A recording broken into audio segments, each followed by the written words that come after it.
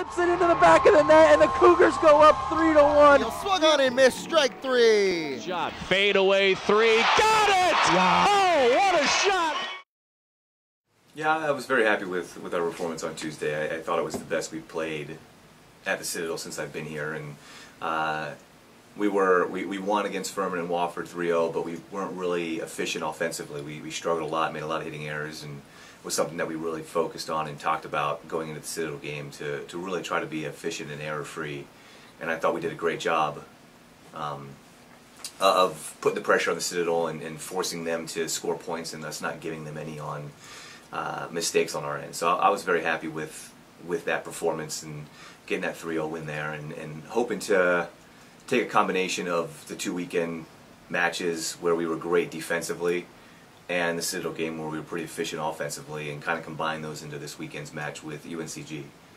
Uh, they're, they're a really good team and um, they play really well at home. I mean, they beat Georgia Southern at home. And they just went five with Samford. Uh, and they might, depending on, they play Friday night against Elon and depending on what happens there, they might it might be a must-win for them to make the tournament, uh, which really puts a lot of pressure on us to to go into it with with the right mindset uh, of what we need, knowing that we've already made the tournament and we we've got to share the championship no matter what happens. Uh, to really try to get our team to focus on getting that successful weekend, close the season, finish, and riding that hopefully into the conference championships.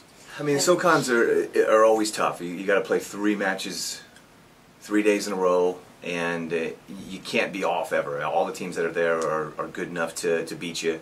And if you have a bad day, your, your season's going to be over. And you really have to focus on just take, controlling your emotions and not getting too high or too low no matter what happens in a game.